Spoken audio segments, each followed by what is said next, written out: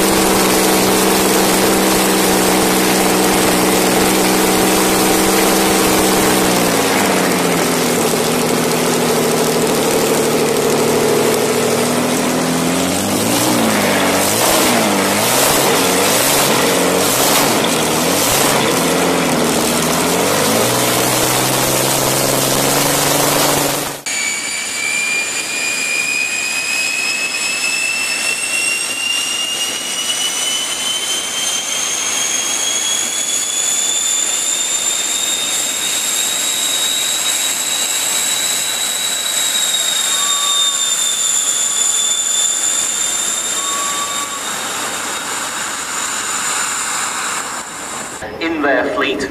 This a relatively new restoration to fly. It's produced a simply gorgeous aeroplane. Starting its takeoff run now, the Gloster Meteor T7.